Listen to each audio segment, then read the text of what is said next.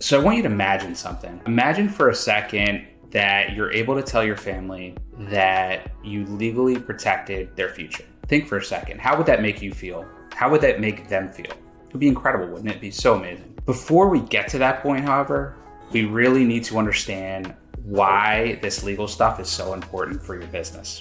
And to do that, in this first training video, I'm going to show you the three most important reasons to get this legal stuff in order to get your legal ducks in a row, as, as some people call it. And trust me when I tell you, the answers are really going to surprise you.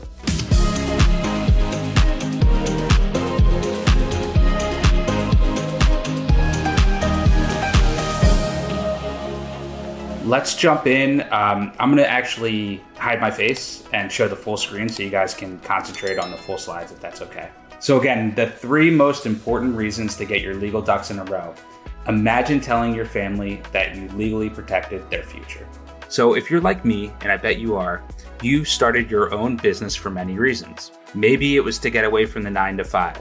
Maybe it was to help your spouse and family out with additional income. Maybe it was to show your kids that you can do anything you put your mind to. Or maybe it was to have the flexible lifestyle and to live on your own terms. Or to show the world your creativity. Maybe it was to give back. And finally, you know, I know it's tough to admit, but maybe you're just doing it for yourself, which is okay. You know, if this is if this sounds like you, then you're definitely in the right place in this training. All right, so let's jump into the training. The three most important reasons to worry about the legal stuff are number one, value, number two, value, and number three, value. See, I told you that you'd be surprised, and I know what you're thinking. Evan, you said value for all three. Aren't they the same? No. So let me explain. I know it's it's a little confusing, but let me explain. Value can be in the form of many different types of currency. In this case, I'm talking about value related to time, value related to money, and value related to goodwill. Let's start with number one time. Did you know that human beings actually have 60,000 thoughts per day? That number blew my mind. And of those thoughts, 80% are negative or worrisome. That's 48,000 negative thoughts per day. And one of the reasons is because as human beings, we're naturally protective. Our brains are literally wired to keep us safe. The majority of those worrisome thoughts are about our families, our friends, our businesses, and ourselves. So just imagine being able to take a big portion of those negative thoughts away by knowing you, your family, and your business are legally protected. Imagine how much time you could get back in your day, even if it's just 30 minutes per day. What would that mean for your business? What would that mean for your family? How much could you get done in your business in that time? Our brains are also wired with this so called fight or flight response, which is this automatic human reaction that forces us to either flee or fight in events which we perceive as stressful or frightening. I see this day in and day out with my clients. There are two types of sellers I see those that worry, flee or fight ahead of time, or those that worry, flee or fight after the fact. The first, these are the what I call the roll uh, roll the dice sellers, as I call them.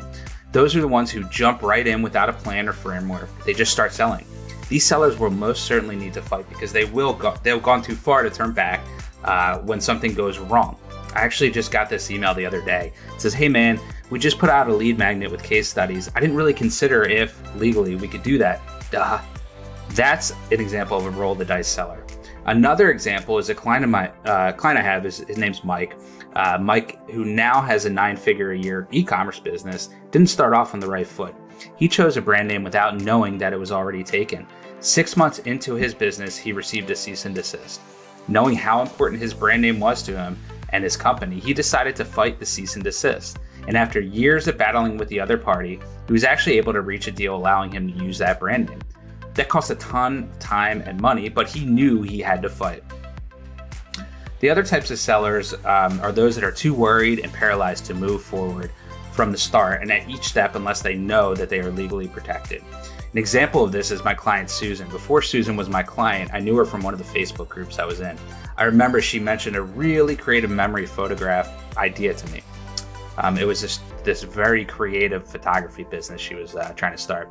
I reached out to her six months later to see how her business was going, and shockingly, she hadn't started. She was too worried to move forward. That crushed me because I knew how amazing her product idea was and how it could change the lives of so many.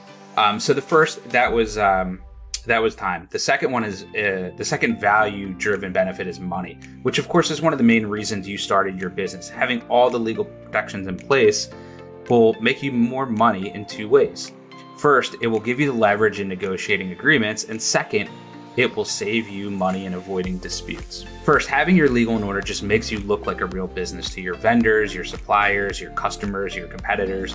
You are perceived as having a real business and not just a hobby. It gives you leverage in negotiating better deals and prices for your relationships, which I'll go over in detail in the next training video. Second, you're to save money. Um, I remember this story. It was a Friday night. Um, we were sitting down. It was it was family dinner. We always do family dinner on Friday night, um, and the phone rang. Well, we do family dinner every night, but but specifically we do pizza on uh, Friday. So I let it go, not thinking too much about it. It rang three more times, the same number. Concerned, I answered. It was a potential e-commerce client, Judy. She was hysterically crying in a, in a panic. She said, "Evan, I think I messed up. I'm in serious trouble." I said, "Judy, tell me what happened." I got a letter from a lawyer in the mail today. It says something like, I don't have the right to use my brand name. I need to stop selling immediately and pay his client $300,000 in damages. I said, Is this true? Do you have the rights to your brand name? She said, I don't I don't know. Well, did you do a search before using it? No. Okay. Is your LLC in good standing and active? Well, I don't have an LLC. I didn't have the money and wanted to start selling immediately, so I just sell under my own individual name. I paused and told Judy to take a breath and let her know that I knew what we needed to do, and I called her in, uh, in the morning. Unfortunately, Judy's not alone. 53% of small businesses are involved in some type of dispute or lawsuit. That's over half of all small businesses. The more shocking stat is that of those businesses, they will pay 10,000 to $100,000 in legal fees and costs per year. What? Think about what that could mean for your business. Could you survive those costs? Probably not. I don't think I could. Fortunately for Judy, we were able to settle and get her set up properly and on the right course. But if Judy would have had the proper legal protections in place from the start, she would have saved a ton of money and time. So don't be like Judy 1.0, as I call her, be Judy 2.0. All right, let's talk about the third value benefit goodwill. Having the necessary legal protections and structures in place increases the value of your goodwill and ultimately leads to a higher valuation of what your business is worth. Think about the whys, why you started this journey. You want to build a long term successful business and ultimately sell it one day or pass it to your kids. You want to maximize the value of each and every component of your business in order to get what you have and what you've always dreamed of. One of the intangible components of your business is its goodwill. This includes its reputation, its relationship with customers, and standing in the industry, as well as its relationship with employees and independent contractor. These are all essential parts of what makes a business successful, but are not things that you could see on the list of company assets. Some people say that goodwill is the synergy behind your company that makes it successful. Goodwill is mostly driven by having your legal structure in place throughout the life of your business, adding a ton of value to live the life that you ultimately wanted to live. So, to recap, three reasons to get the legal structures in place value measured in time, value measured in money, and value measured in goodwill. But I know what you're still thinking. Evan, I'm just starting out, or I only have a small business. Are you sure I need to worry about the legal stuff? The answer is yes. Remember Mike and Judy? Think about how much time and money were spent because they thought they didn't need to worry. I have small business and e commerce clients that have been sued by Crate and Barrel and actually Kay Jewelers. Here's an actual letter I received from Crate and Barrel. I have clients that are sued because their websites are not ADA compliant. I have clients that are sued by customers for personal injury caused by things like candle fires. And the list goes on and on and on.